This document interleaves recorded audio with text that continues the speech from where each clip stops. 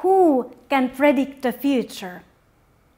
Statisticians. Statisticians are the ones that can predict the future. Statistical research is about analyzing data. So we have some data at our hands. We might calculate some summary statistics, means, medians, variances. We might visualize the data. Uh, if we get super wild, we possibly conduct statistical testing or some mathematical modeling and then we interpret the results. And when we interpret the results, we of course discuss with the context experts. For example, medical doctors, climate scientists, uh, let's say uh, experts in certain field of sports. But research in statistics consists of many other things as well. If you think about the field of mathematical statistics, that is devoted to developing methods, new methods, tools that statisticians then apply when they analyze data. In the field of mathematical statistics, in addition to developing new tools, we also analyze properties of existing tools. Developing new methods that can be applied in analyzing data. These new methods are crucial like super, super important. But why? Well, think about building a house. If you build a house today, you need a hammer, right? But the hammer is not enough. You cannot build big fancy houses these days with just a hammer. The same with statistical analysis. I mean, when you analyze data, of course you calculate sample means and maybe you apply t-test. But sample mean and t-test are just not enough today.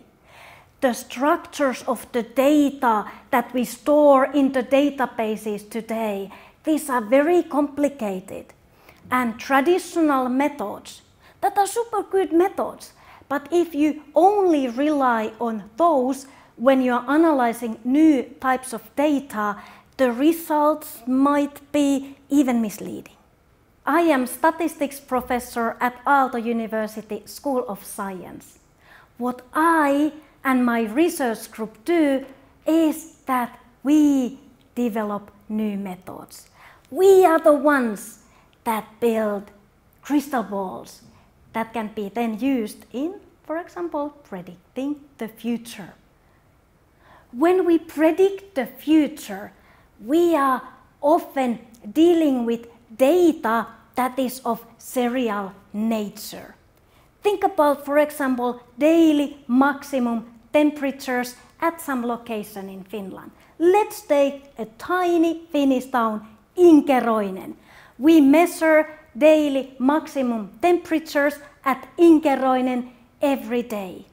The data that we obtain that's a time series, one point every day.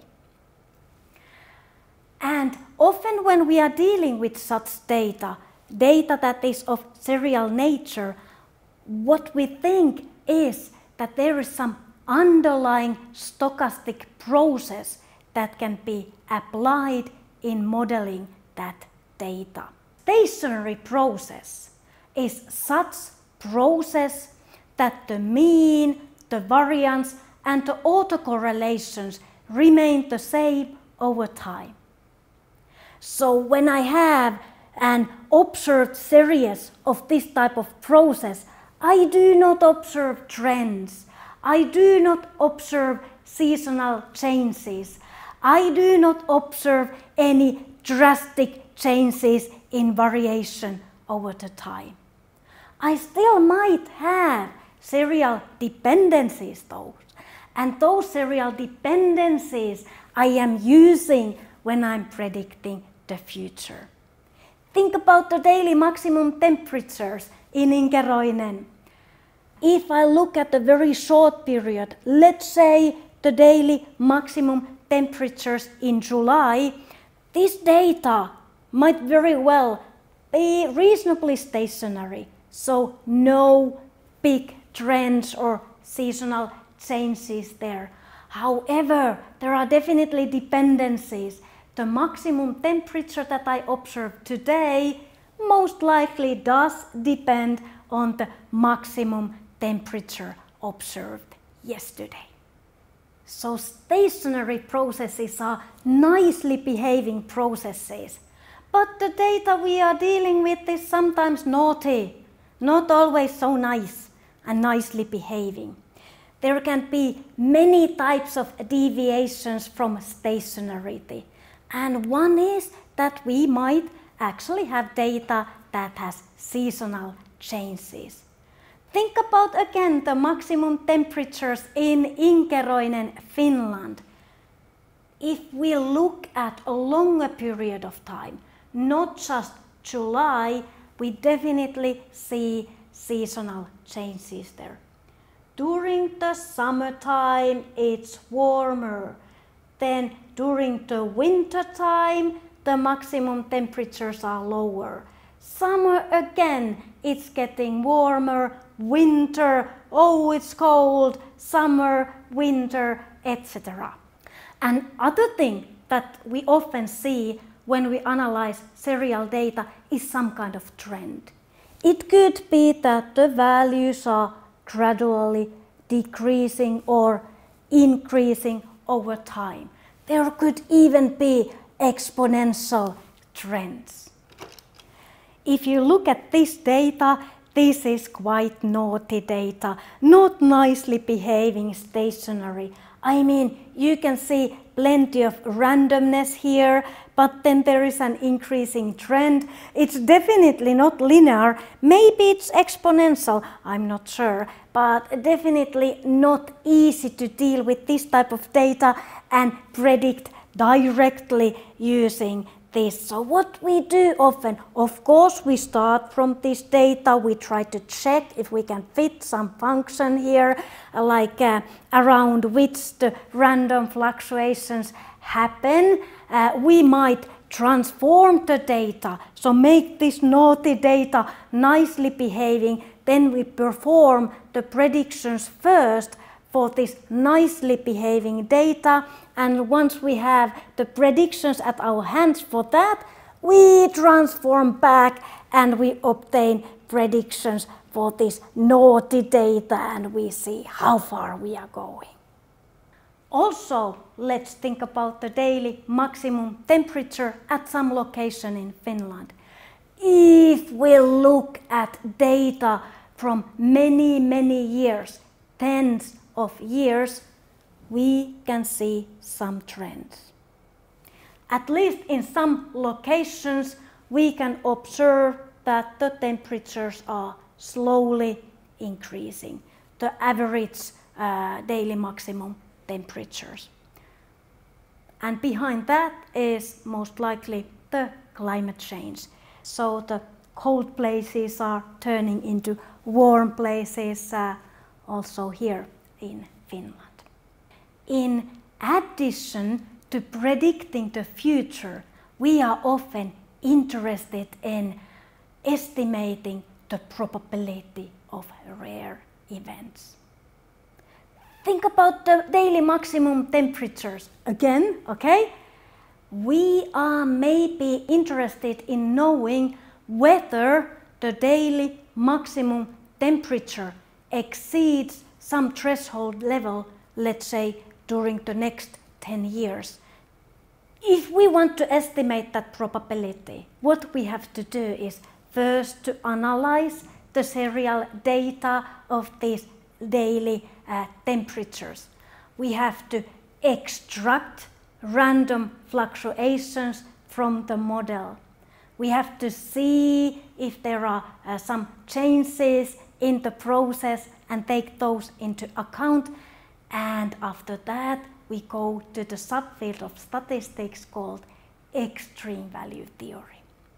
Extreme value theory is the subfield of statistics that provides tools for assessing how rare is rare. Okay, so we have predicted the future and we have assessed the probabilities of some rare events. But sometimes we also, when we analyze serial data, we notice that something very weird has happened to the process. Maybe the entire process has changed its structure the internal dependency structures of the process have completely changed over time. It can happen suddenly or it can happen gradually. The subfield of statistics that is devoted to these changes in, uh, let's say, serial dependency structures, that is called change point analysis. So change point analysis, it provides tools for detecting the changes, you know, is there a change or not in the process? Then when was that change when we look at the data? When did we start seeing some hints that, you know, the process is changing? And of course, uh, when we have noticed that there is a change, when that change was, we also want to know how the process has changed. Maybe there is some huge environmental catastrophe that changes the climate like completely.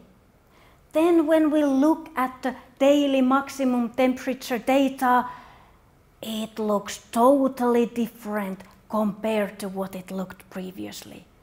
Then you know the entire process has changed. It's not only about increasing trends anymore, but the dependency structures of the uh, process uh, are not the same. We statisticians, we search, we look for structures in randomness. We are dealing with many types of random phenomena, but the structures in randomness enable us to model, enable us to, for example, predict the future. I am statistics professor from Aalto University School of Science.